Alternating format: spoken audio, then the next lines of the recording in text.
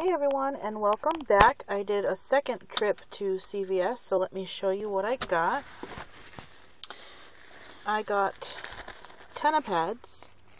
Sorry about the lighting, I'm right in the sun here. These were $7. Um, we had the $5 coupons in the inserts for this week. I also got, oh, another pad. I had three coupons, but this one the 14 was $4.19, so I got this one absolutely free. This one I had to pay $2, but I also had a 4 off of 20 that I used. I also got some more dog food. Let me pull up this bag here. I got six of these. They're 69 cents. We have the buy one, get one freeze in the inserts.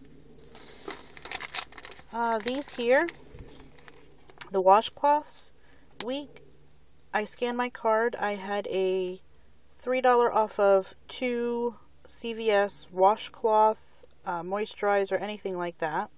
So I got two of those. I also got two um, Garnier Fructose, Fructis, however you say it, um, travel size shampoo and conditioners. Um, I got a bottle of Sprite and a candy. Let me show you my receipt. See if I can get it in here so you can see it. There we go. I got the Sprite, the Mike and Ike candy, the Cesar dog foods, uh, the scented wipes, the Garnier, the Tena. These are the coupons that I used. 25 cents was for the candy. The CVS $2 was $2 off any Tena pad. Then I had the 4 off of 20. I had another $2 that was for the CVS wipes. I had the $5 for the Tena. The 419 for the Tena, the 5 for the Tena. She didn't auto deduct the other 5.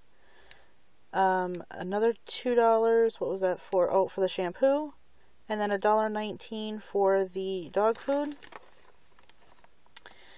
My subtotal was 279, 12 cents tax, was 291 out of pocket. I got a shampoo and a conditioner trial size because I'll be traveling.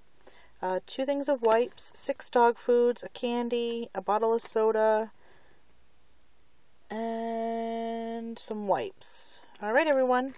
Please subscribe, please like, and I'll talk to you on the next one. Thanks. Bye.